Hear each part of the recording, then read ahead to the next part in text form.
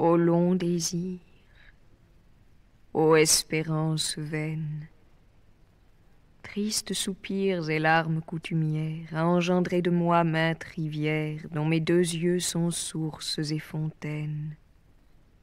Ô cruauté, ô duretés inhumaines, piteux regard des célestes lumières, du cœur transi aux passions premières, estimez-vous croître encore mes peines?